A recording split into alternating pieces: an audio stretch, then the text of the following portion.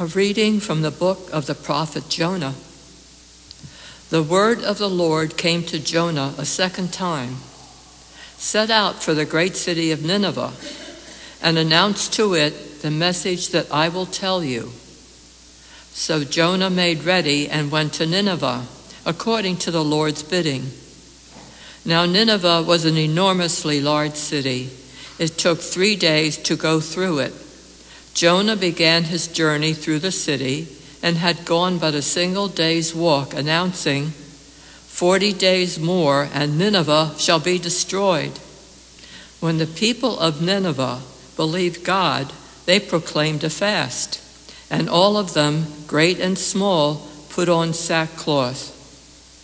When the news reached the king of Nineveh, he rose from his throne, laid aside his robe, covered himself with sackcloth, and sat in the ashes.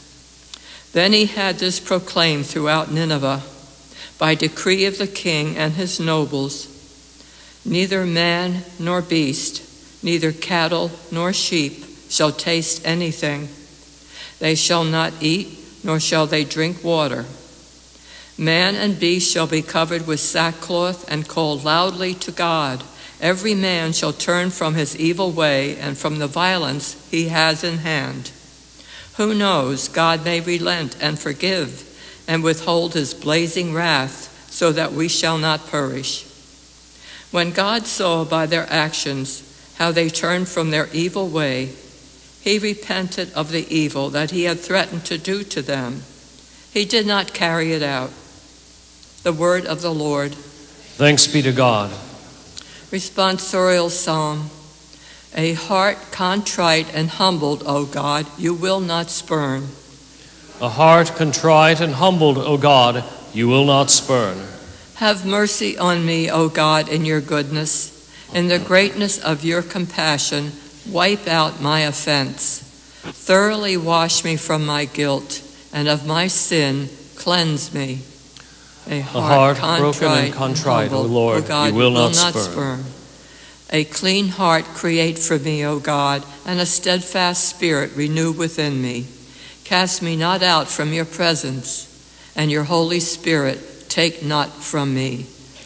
A, heart, heart contrite and humbled, O God, you, you will not spurn. For you are not pleased with sacrifices. Should I offer a burnt offering, you would not accept it. My sacrifice, O God, is a contrite spirit, a heart contrite and humbled. O God, you will not spurn. A heart contrite and humbled, O God, you will not spurn.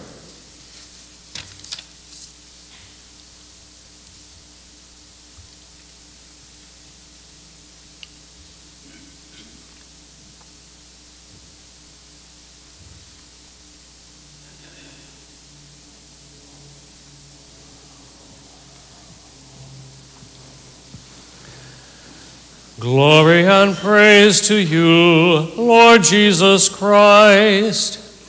Glory and praise to you, Lord Jesus Christ.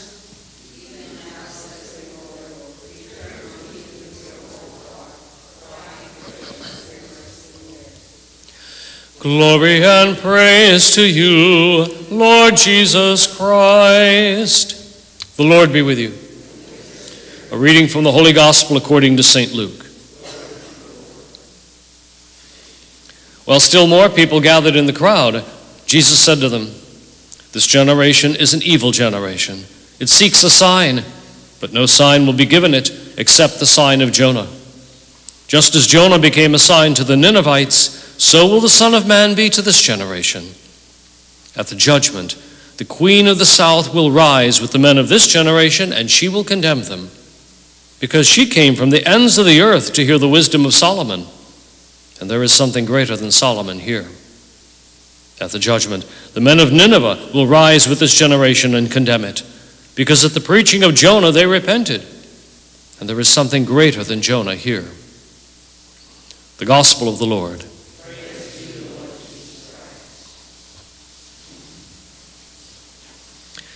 It took Jonah two calls and being slapped upside the head before he could figure out what he was supposed to do. He finally did it. And yet, the people of Nineveh in the story, at one hearing, repent. And the sackcloth and ashes is nice, the fasting is nice, but the bottom line is that they turn from their wicked ways, and that's the core of repentance. You know, that's the core of repentance. We have a, a circumstance in the gospel where basically what the people are desiring is okay, Jesus, show us, and then we'll believe in you. And Jesus is saying, believe in me, and you'll see. Believe in me, and you'll see. The Ninevites believed, and they saw. They saw the mercy of God. That's, that's the, the balance, it seems. That we, we crave this kind of sense of security and extra knowledge that really undercuts the principle of a love relationship. If we engage in somebody in a love relationship, the last thing we demand, or ought to demand, is ongoing proofs. Show me you love me. You know, uh, on and on and on. Now, that doesn't mean we shouldn't and we aren't eager to do those kinds of demonstrations, okay? And so we better be remembering things like birthdays and anniversaries. That's just the way we are. But the fact is that the requirement put on somebody else, you prove that you love me, destroys a love relationship. It makes it mechanical, it makes it artificial, it makes it synthetic. And what Jesus is saying here is don't demand a sign. See what's here now. See the love and forgiveness that's here. I don't work miracles for show, I work them for love. And so, as we celebrate this Eucharist, as we continue our day today, we may ask, Lord, to help us truly to see with the eyes of faith and with the eyes of love, particularly in the course of our adoration all day today. And for that, let the Eucharist be the great sign, the only sign we truly need for God's love and mercy for us. Let us stand and pray.